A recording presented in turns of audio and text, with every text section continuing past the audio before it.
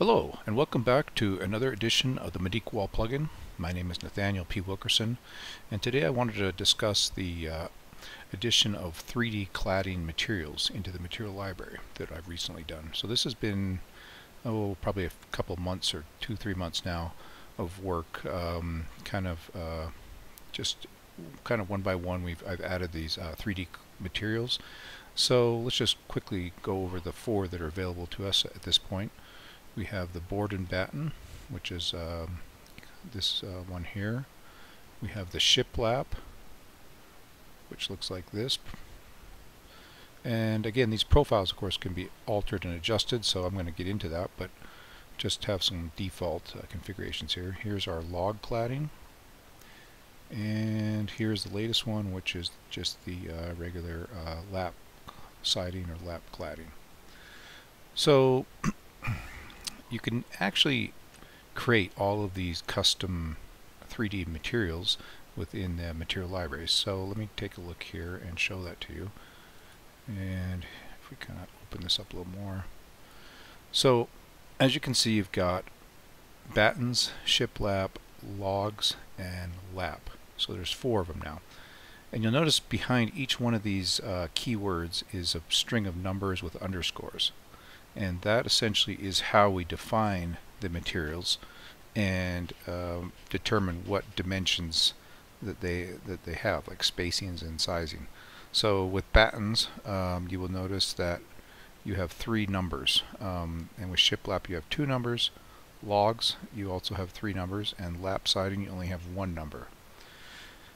Um, so let's go ahead and I'm going to go back to the um, the main window here just put that aside for a second. I'm going to go ahead and turn on some dimensions that I already pre-put on some of these uh, configurations. So let's quickly just go over what each of these numbers mean. So if we kind of zoom in here, we can see that um, in the in the bat, board and batten uh, siding, well, first of all, what you're going to notice is that the actual thickness of the siding itself is determined by the cladding thickness, of course, which is in this case a quarter inch. So that um, you know you just change by the regular adjusting your. Uh, well, let's see here. Let's go ahead and let's uh, let's demonstrate that, I guess. So if we go here under cladding, we'll see that's that. Let's change that to say um, 0.375, which is 3 eighths of an inch. And if we update that, you'll notice that it now just got thicker, right? So you can adjust your uh, overall thickness, but what happens is, is these other three numbers will determine uh, the shape and size of the actual boards and the, on the battens. So let's go back here and bring this back in. So board and battens, again, we have 12, 1.5, and 0.75 in this case. So 12, the first number, of course, is our spacing. So that's the spacing center to center between the boards. And then your um, 1.5, that will be the width of the boards. So you can see you've got a width. And then the third number is the 0.75, and that will give you the depth of these boards, right? So again, let me just throw that in there. We can see that. And so once you know, once you have created this wall, you're using this particular material that you've already predefined. Um, you really can't, you know, change the material on the wall. You have to change the materials configuration here. And once you once you actually do that, you know, you actually rename that material. So then you'll have to reassign the new renamed material uh, on the wall itself if if you decide to do that. So I what I suggest actually the best thing to do is just go ahead and pre-configure, you know, your different board and batten or shiplap or whatever you know, materials uh, sidings you, that you want to use and then have those just pre-configured and then you know you can easily swap between them as, as you're going ahead and doing your design. So let's go ahead now and look at the shiplap siding. So again this one is basically two parameters or two numbers associated with it. So you have shiplap, then you have underscore, then you have this number, and then you have that number. So the first number, of course, is the center to center spacing of the board or the laps and then the second number, which is in this case 0.75, is the width of this uh, little opening here, or I don't know what you want to call that, I guess the groove between the boards. Um, so really it's just two numbers and you can like I said you can define those however you want you know you could have like a 12 foot board with a half inch space between them um, with this particular siding though um, what you'll notice is that this depth of the siding is controlled by the cladding depth which in this case I've set to a half inch and then the depth of the cut is set by default to half of that depth so it's always going to be half of the depth of the cladding itself. So let's let's just adjust this here and, and see what we get.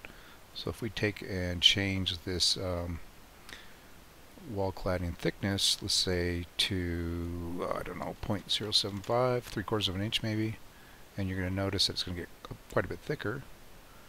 And you'll also notice that the depth of the cut is still one half of the depth of the, of the thickness of the cladding. So that's kind of how that's controlled. Um, there's not a way to control that as a user. It's just basically one half. Alright, so let's go now and look at the log siding. Okay, so log siding, similar sort of thing again. A um, little more, a little more complicated because we've got more geometry going on. As you'll notice with log siding, it's logs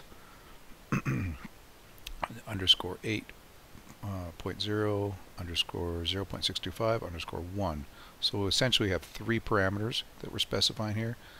So the first one is the 8 inches, and of course that will be the center to center spacing of the logs. And you can see that 8 inches there. And then you've got the uh, 0.625, which in this case is the spacing, or the not the spacing, sorry, the width of the groove between the logs, which in this case is 5 eighths of an inch. And then the 1 inch that will give you the depth of the log. So it's basically from the bottom of this groove to the top of the log. Okay, that so that kind of controls that curvature. So you know if you want it bulging out more, you set that third number a little larger. Or if you want a flatter sort of appearance, well, then you can set that to lower. So that's how that's controlled. Um, so what what is interesting though is that uh, so let's go ahead and adjust this uh, thickness of this particular cladding here. Let's go edit wall assembly. Let's jump down here. And now set the wall cladding thickness. Let's try it a half inch just to, just to see what happens here. Okay. So you'll notice that now instead of being a quarter inch um, we've basically added a half inch. So this dimension we can control and of course it lifted everything you know off uh, basically uh, translated another quarter inch out. So it, you can control that base thickness I guess with the wall cladding thickness parameter. You'll notice that this particular dimension here uh, not that one I'm just going to delete that one for now so get out of our way. Um, this this distance here I'm talking about. Okay so this is not a control distance. This is hard coded in. So this little bit distance will always be an eighth of an inch. And it's just there to kind of provide that little bit of lift off from the, the bottom of the groove and then start the log. So that is not a controllable number at this point. I mean, at some point I may change it if we if there is need for that. But so far there isn't. Okay, so let's go to the next one. And this is the latest one. This is the just the basic lap siding. Very simple. Um, again, if we look here, we've only got one parameter for it. So like I said, it's very simple. And that is just the uh, reveal, you know, the center, well not the center center, but the reveal of each one of those laps. So in this case, it's a 7.0, 7 inch or 7 inch reveal.